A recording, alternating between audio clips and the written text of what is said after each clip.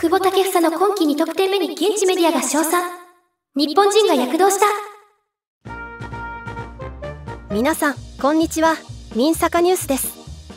現地9月24日に行われたラリーガ第8節レアル・ソシエダ対バレンシア戦ですが、前節まで4試合連続無得点で苦しむレアル・ソシエダを、久保建英選手が救ったようです。今回は、そちらについて見ていきたいと思います。記事はサッカーダイジェストから。現地9月24日に開催されたラリーガの第8節で久保建英が所属するレアル・ソシエダがバレンシアとホームで対戦。3-0で快勝を収めた。リーガでは5試合。公式戦では6試合も遠ざかっていた白星をもたらしたのが4-3-3の右ウイングで先発した久保だった。開始8分。左サイドからのセルヒオ・ゴメスが送り込んだグラウンダーのクロスを左足でダイレクトシュート。鋭い一撃にニアサイドを射抜いてみせた。さらに80分にも自陣からのカウンターの起点となりオーリオ・スカールソンが決めた追加点に関与している。躍動した日本代表ミッドフィルダーを現地スペインのメディアも称賛。エルデス・マルケのギプスコア版は竹久保が得点しレアレアリーナ全体を踊らせた。彼の魔法はバレンシア全体を無効化した。と称えている。イマノル・アルグアシルのチームは好調なスタートを切りすぐに竹久保が輝いた。竹久保は前半の最高の選手の一人だった。いつものように彼は右サイドからスタートし中央に向かって斜めに攻撃し守備陣に危険をもたらした。同メディアは日本人は躍動し先制ゴールを決めた。セルヒオ・ゴメスの低いクロスをエリア内で受けてママルダ守備リを破る。選手たちはゴールがどれほど重要かを知っていたので大喜びでゴールを祝った。ソシエダにとってこれがリーグ戦では5試合ぶりの得点となった。このように報じています。いやレアル・ソシエダ久々の得点と勝利でしたね。その先制点を挙げたのが久保建英選手。しかしその後ソシエダはバレンシア陣内を何度も攻め込みながらもなかなか得点を挙げられません。この辺りは今季のソシエダを象徴しているのかもしれませんね。ただ後半35分オヤルサバル選手に代わって入った新戦力オスカールソン選手が得点。さらに後半アディショナルタイムにもオスカールソン選手がチーム3得点目となるゴールを挙げます。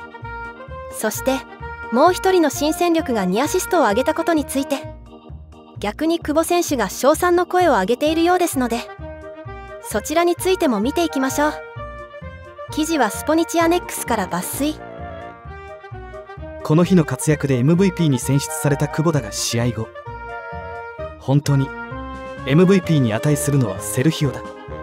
僕らが負けないように彼がもっと活躍してくれることを願ってます。とコメント。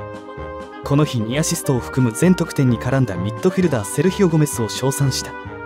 一方本拠初勝利に沸くサポーターにも触れファンの歌声が響いていたことで雰囲気も良くなりました。と温かい声援に感謝。この勝利が不振のチームにとっての転換期になるかと問われると僕や彼らチームメイトがもっとゴールを決められることを願ってます。と話した。このように伝えています。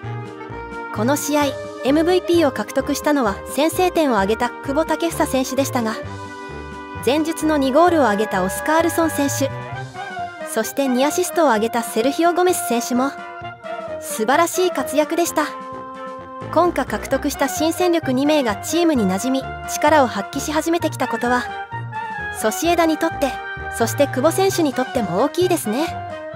ただ今季バレンシアは降格圏を争う下位チーム。久保選手も新戦力の選手たちも進化が問われるのはこれからと言えそうです。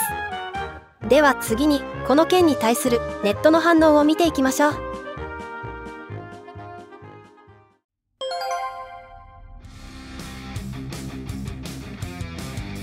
チームがうまくいっていない中での孤軍奮闘がずっと続いていたわけだが試行錯誤しながら実際に結果も残せるのは素晴らしい。ゴメスはウインガーではなく中央でより力を発揮する選手。よっしゃ久々の勝利。しかも複数得点。前半のオヤルサバルとのワンツーからバレナチアへのラストパスは素晴らしかった。久保もゴールしたしセルヒオ・ゴメスやアランブルはいい感じだったし。内容的にも次につながる試合だったんじゃないかな。確実に今季は補強がうまくいっていない。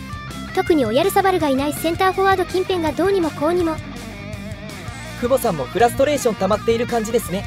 強かった頃のチーム全体が連動しての守備からの攻撃が見たいですが。折り返しのセンタリングはスピードがあって細かいバウンドをしていたので決して簡単なボールではなかった。久保選手ももちろん良かったけど個人的にはセルヒオ・ゴメスが MVP でも良かったかな。他クラブへの移籍を真剣に考えるなら今シーズン終了後が良いと思うので目に見える結果得点アシストを追い続けてほしいですゴメスは股抜きだったかな？苦しい体勢だったように思えたけどよく絶好のグラウンダーを送ってくれた。右サイドじゃ絶対ダメ真ん中だってコメントが溢れてたけど今日から急に減ったな。メンツが良ければ右サイドでも十分機能します。とりあえずよかった。これが毎回できればな。竹いいぞ。サッカーも試合してるぞってとこを日本国民に見せてやれ。勝ってよかった。やっとすっきりした勝利ゴメス左利きだからマイナスにいいボール切り返してくれるから竹とは合いそうチームの顔としての振る舞いができていてすごい。ヨーロッパリーグ次節はホームだけどロケ出さずに主力温存願いたいわ。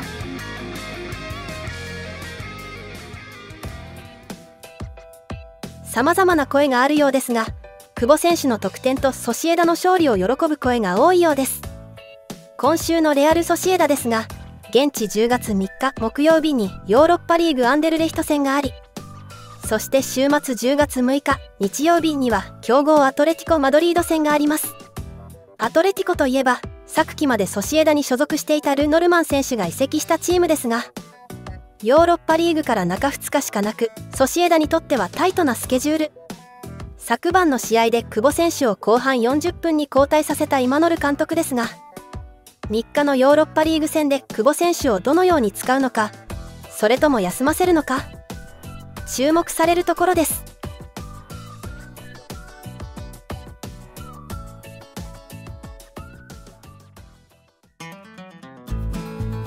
ここまで動画をご視聴いただきありがとうございました。今回の内容はいかがでしたでしょうか？もしよろしければチャンネル登録と高評価ボタンを押していただけると今後の動画制作の励みとなります。是非よろしくお願いします。それではまた次回の動画でお会いしましょう。